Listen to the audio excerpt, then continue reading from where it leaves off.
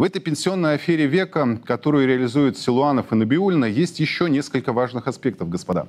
Сегодня стало известно, что в проекте федерального бюджета заложена вновь заморозка пенсионных накоплений на 2017-2019 годы. Пенсионные жулики уже ранее тяпнули простите за это выражение, у граждан России более 1 триллиона рублей. Около полутриллиона в 2013 году, 243 миллиарда в 2014, 309 миллиардов в 2015 году. И вот свежая новость. Воровство из наших кошельков продолжится как минимум еще три года. Возвращение ранее замороженных средств в накопительную пенсионную систему невозможно, заявляет вице-премьер Ольга Голодец. Это не на наш взгляд невозможно, а это просто экономически невозможно. У госпожи Голодец нет плана по возврату. Теперь планов по возврату замороженных пенсионных накоплений нет и у Силуанова с Набиулиной. Бюрократия в России имеет очень большую специфику, но такую вопиющую наглость я встречаю впервые. Правительство и Центробанк, которые и завели страну в финансово-экономический тупик, банкроты. Регионы выплачивают текущие социальные платежи за счет коммерческих кредитов коммерческих же банков. Пенсии сейчас в России платят за счет средств будущих пенсионеров. Живые, белые деньги, которые работодатели перечисляют в пенсионный фонд за своих работников, превращаются в баллы. Антон Силуанов и Эльвира Набиулина предложили сегодня гражданам России самим формировать пенсионную основу для будущей старости. Но забыли вернуть более 1 триллиона рублей уже накопленных нами денежных средств. Источников для этого возврата средств нет. Никто не собирается эти деньги возвращать, потому что эти деньги пошли на принятие антикризисных мер, ранее заявлял глава Минфина. Вот он, ответ на все вопросы. Чиновники нас держат, простите, за дураков? Вопрос пришел на электронную почту, кстати, мне кажется, он достаточно интересный. Стоит ли принимать участие и стоит ли доверять программе софинансирования в пенсионном фонде, когда вы туда перечисляете деньги а. и вам такую же сумму начисляют? Вот. Там не такая же сумма, это, по-моему, вопрос что задавался года два назад. Ответ у меня тогда и сейчас был э, отрицательный, не стоит государству ничего доверять. Э, потому что если вы подумаете о том, что происходит, посмотреть, посмотрите не только на Россию, а, скажем, на те же США или Европу, то увидите, что у вас отбирают деньги э, и дают вам обещание, что вам когда-то что-то, может быть, выплатят.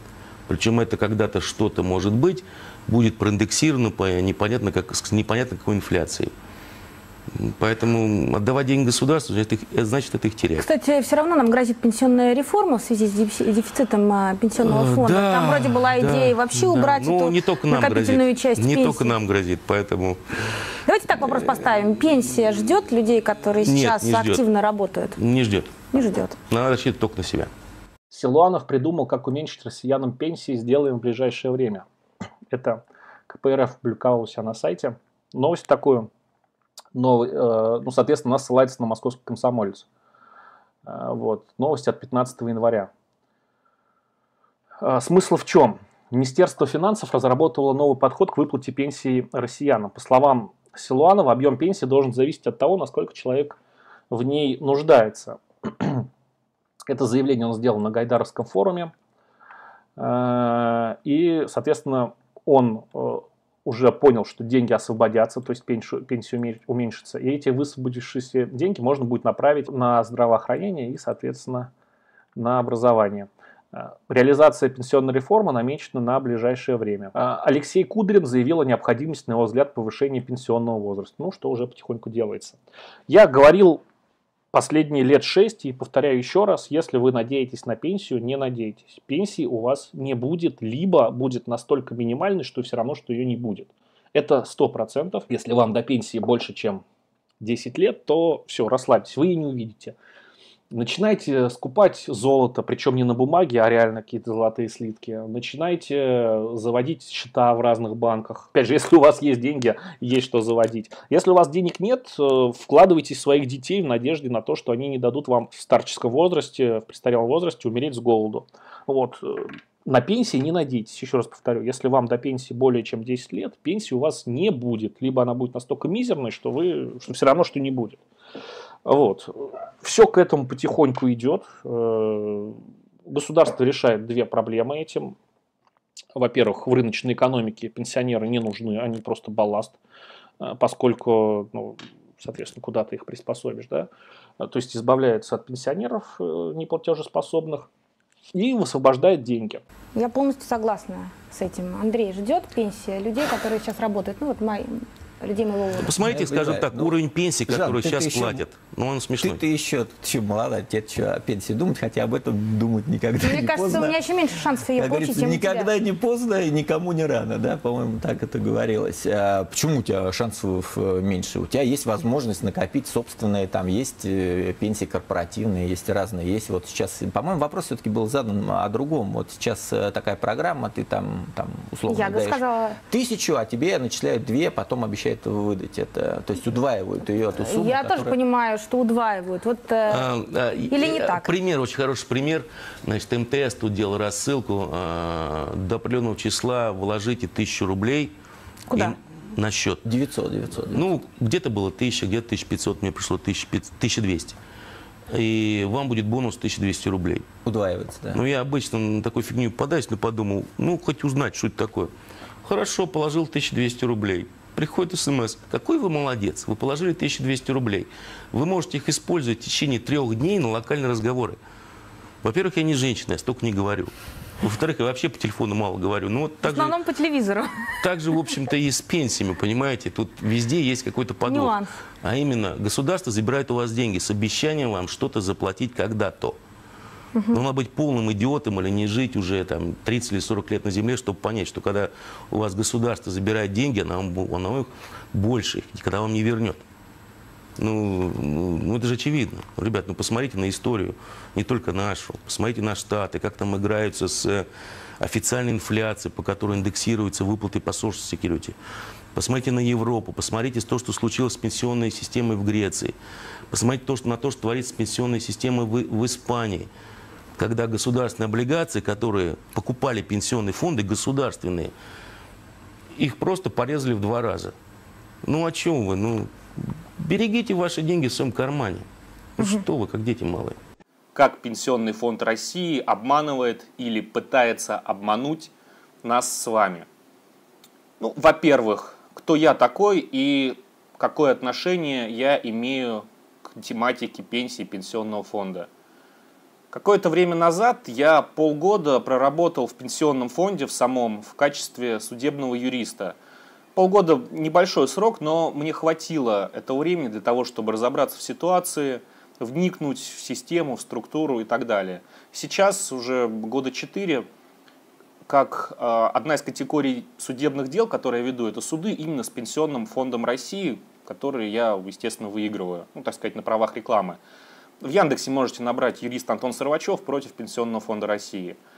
Эм, Первый канал меня первый раз позвал к себе э, на эфир в качестве юриста, именно как юриста по пенсионным вопросам, потому что таких юристов мало, а среди тех, которые есть, тех, которые реально что-то соображают, еще меньше. То есть их единицы, которые разбираются вот именно в пенсионных вопросах.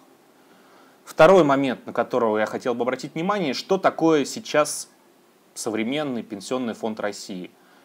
Я хотел сначала там какие-то даты, цифры, графики привести, потом понял, что никто это смотреть не будет, и решил рассказать о всей ситуации ну, обычным человеческим языком. Так вот, Пенсионный фонд России, вкратце, это что-то вроде финансовой пирамиды, ну, что-то вроде МММ. Только под определенным сказать, протекторатом государства. Под государством я имею в виду не Путина, а который, кстати, особенно не лезет в экономику, а определенных гайдаровско-чубайсовских, либеральных, в кавычках, э, выкормышей, которые обманули большинство граждан России еще в 90-е годы. И собираются это проделать элементарно еще раз.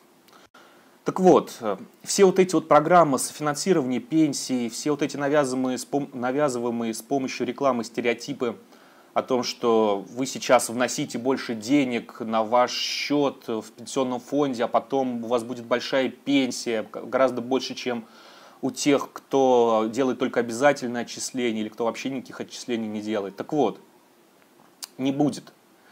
Ну, для сравнения я вам хочу сказать так. У нас рыночная экономика, не советского типа. Когда, знаете, советское время ты много работаешь, у тебя пенсии больше, чем у того, кто не работал. Сейчас все абсолютно не так. Вот вы пойдите к бизнесмену какому-нибудь, да, и, спроси, и скажите у него, давай ты мне будешь каждый месяц платить по 10 тысяч рублей, предположим, а я тебе через 20 лет буду выплачивать, условно, там, по миллиону. Он не согласится. Хотя пенсионный фонд вам по миллиону не обещает. Он обещает намного меньшие суммы. Но бизнесмен не согласится, потому что в условиях рыночной экономики ситуация меняется не то, что каждый месяц или каждый год, а каждый час. И через 20 лет умереть может он, умереть можете вы. А даже если так произойдет, что никто не умрет, и он к вам придет, скажет, давай плати мне по миллиону, вы можете куда-нибудь убежать или сделать нечто такое, что просто нивелирует вот эти вот все, все выплаты, которые вы должны ему. А, или подадите на него в суд, выиграете, и оказывается, что вы вообще никому не должны. В общем, ситуация в рыночной экономике меняется постоянно. И пенсионный фонд, я уже говорил, это нечто вроде абсолютно рыночной схемы, пирамиды и так далее. У многих людей существует заблуждение, что, государственный, что пенсионный фонд это вот какая-то государственная структура. Ну, есть положение о пенсионном фонде, да, в нем написано, что пенсионный фонд принадлежит государству. Но вместе с тем написано, что он не входит ни в какие бюджеты. И ну, я просто это знаю. Пенсионный фонд сам по себе, Пенсионный фонд России, это убыточная организация. Ваши деньги, которые вы платите, они идут на погашение уже имеющихся обязательств, по, у которых есть у пенсионного фонда. И этих денег не хватает. И государство каждый год принимает решение о том, чтобы датировать бюджет пенсионного фонда из своих средств. А если государство такого решения не примет, то пенсионный фонд, как, опять же, в положении о пенсионном фонде указано, являющийся самостоятельной организацией, просто станет банкротом. Офигеть. И даже там какие-то страховые компании, там еще кто-то его просто не спасут и вы останетесь на бабах. Государство вам скажет, ну а что, надо было документы изучать. Ну да, нам принадлежит вот такой вот актив пенсионный фонд, но он вел плохую хозяйственную деятельность, обанкротился, так что извините. Ну или просто повысит пенсионный возраст. Существует 101 способ, как не заплатить вам те деньги, которые вам обещаны. Вы поймите, что сейчас в экономике, особенно внутригосударственной, я не беру макроэкономику какую-то там, Газпрома там и так далее. Нет, во внутригосударственной экономике правят жулики типа Чубайса, Гайдара и так далее. И у них задача собрать сейчас с вас как можно больше денег под любыми предлогами, обязательствами, чем угодно. Для того, чтобы, ну, во-первых, часть положить себе в карман, а часть пустить на погашение текущих обязательств. Несколько лет назад пенсионный фонд э, праздновал свою какую-то дату, там то ли 20 лет ему было, там какая-то такая дата была. Эм, в Москве я просто присутствовал при этом, э, снимался большой зал, миллионы рублей, там несколько миллионов рублей заплатили Пенкину, там еще каким-то артистам. Естественно, что чиновники Государственного пенсионного фонда получили откаты с этих денег. И все это делалось за ваш счет, вот за счет вот этого там софинансирования и так далее. Кто-то мне скажет, что это бред, что я ничего не понимаю. Э, что ваши деньги идут на определенные лицевые счета, вытянуть их невозможно. Это все фигня и брехня. Э, я еще раз говорю, я работал в пенсионном фонде, я вот эту всю ситуацию знаю изнутри. Все лицевые счета, все вот эти словеса, что вам говорят, это всего лишь слова и бумажки. По факту денег в пенсионном фонде реально нет. И их там и не предвидится. И никто там не думает о вас, о ваших пенсиях, о том, как они вам будут там что-то выплачивать. Нет. У чиновников, которые работают в пенсионном фонде и как-то допущены к деньгам, они эти деньги пилят, проводя ремонты, снимая там какие-то аренды, устраивая конкурсы, тендеры и подтягивая там свои фирмы однодневки э, разными путями, устраивая там вот эти вот концерты с Пенкиным и так далее и тому подобное. Идет просто пилеж ваших денег. Я не призываю к тому, чтобы брать вилы, факелы и идти, не знаю, там на пенсионный фонд. Вы ничего там не сделаете, потому что у тех, кто ворует ваши деньги, у них по документам все чисто, а что не чисто, они там подделают все это. Я призываю к тому, чтобы вы не думали, что вы живете там в какое-то советское время, вы живете при рыночной, волчьей экономике, Э, причем при периферийной рыночной экономике времен, там, не знаю, раннего капитализма и чуть-чуть замаскированного Дикого Запада. Вас просто пытаются обмануть. Если вы сами не позаботитесь о себе, о своей пенсии, то Пенсионный фонд России вам не поможет в этом абсолютно никаким образом. Я знаю, о чем я говорю. Ну и опять же, на правах рекламы хочу сказать, если у вас какие-то есть судебные дела с пенсионным фондом, обращайтесь ко мне, я выигрываю практически 100% этих дел. А с вами был юрист Антон Сыровачев, правовое, первое правовое шоу Duralex Setlex. До новых встреч!